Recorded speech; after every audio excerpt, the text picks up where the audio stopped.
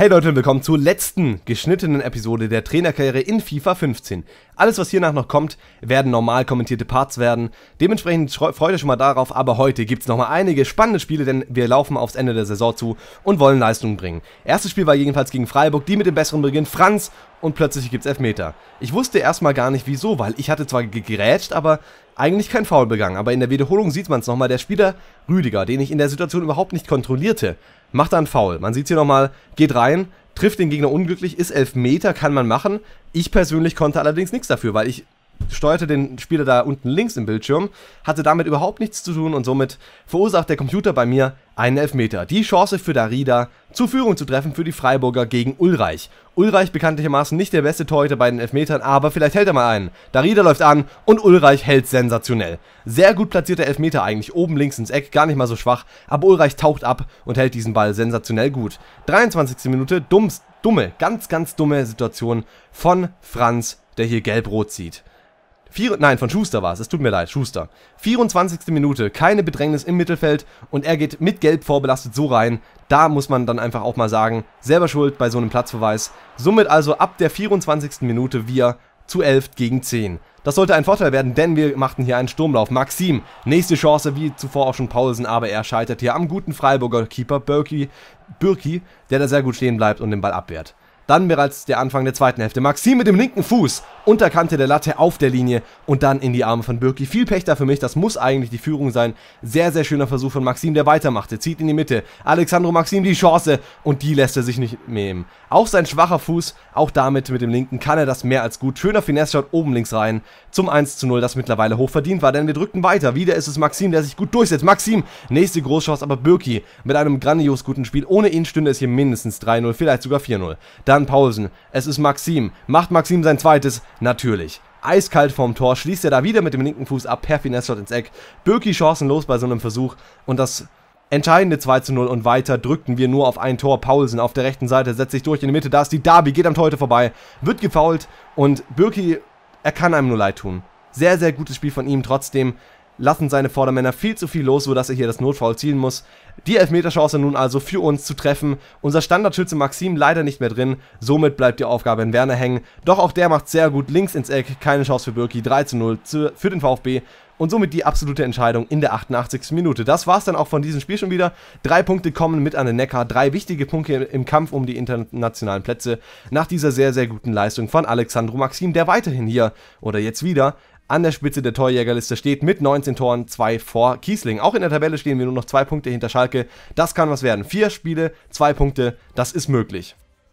Zumal wir im nächsten Spiel gegen Schalke spielten. Sollten wir dieses Spiel also gewinnen, würden wir auf die internationalen Plätze rücken. Ein sehr wichtiges Spiel und damit wollten wir natürlich unsere volle Elf hinschicken. Maxim, Harnik, Kostic, Paulsen, die, das volle Aufgebot der besten Spieler unserer Mannschaft sollten es heute richten gegen den großen FC Schalke 04 auswärts in der Felddienst Arena, die hier durch eine sehr schöne Choreografie vor Spiel zu begeistern konnten, zu begeistern wussten, besser gesagt.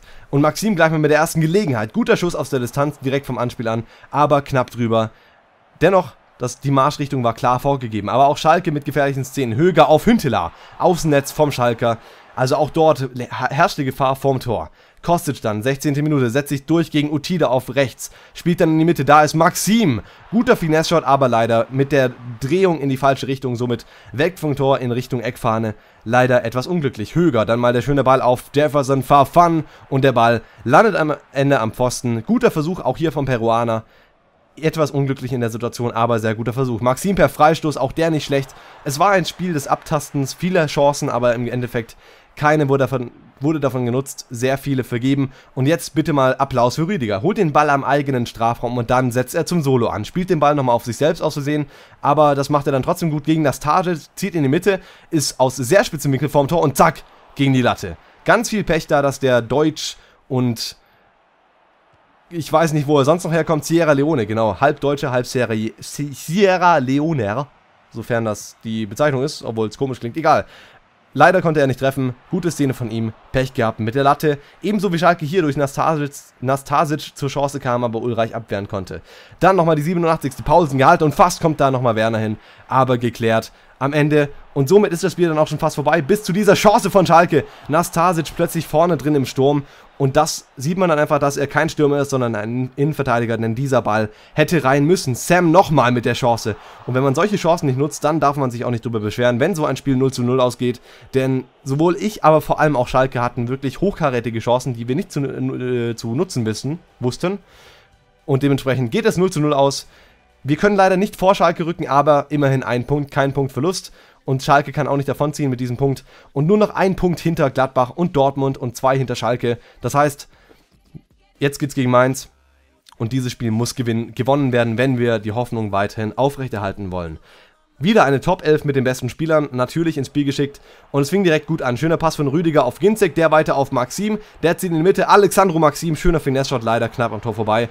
1 zu 0, noch nicht ganz, aber nicht weit davon entfernt. Maxim wieder dann, wenige Minuten später. Dieses Mal macht es fast besser, aber Capino im Weg. Dennoch, der Ball wäre schon mal aufs Tor gegangen und genauso ging es weiter. Schöner Ball von Gentner auf Ginzek, der zieht den Turbo an.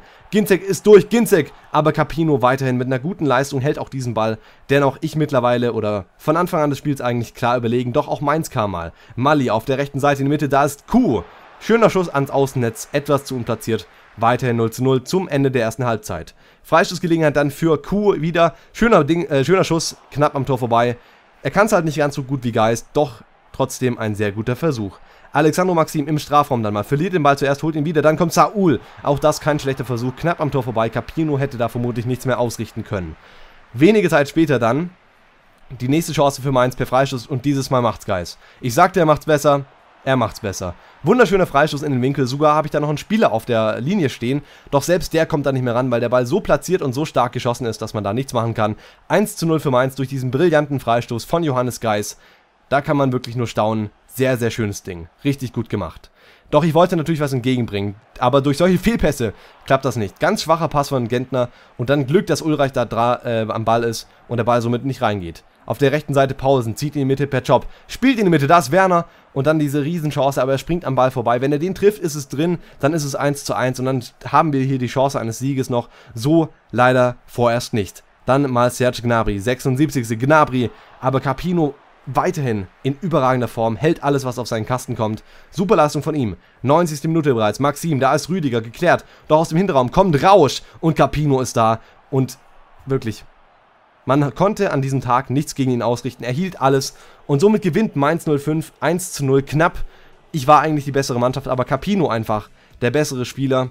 Ob wir es also dennoch noch schaffen können, ins internationale Geschäft zu rücken, seht ihr in den nächsten Episoden, wo wir darum kämpfen werden. Vielleicht ist es ja irgendwie mit sehr viel Glück noch möglich. Wir sehen uns beim nächsten Mal wieder. Bis dahin, bis dann und tschüss.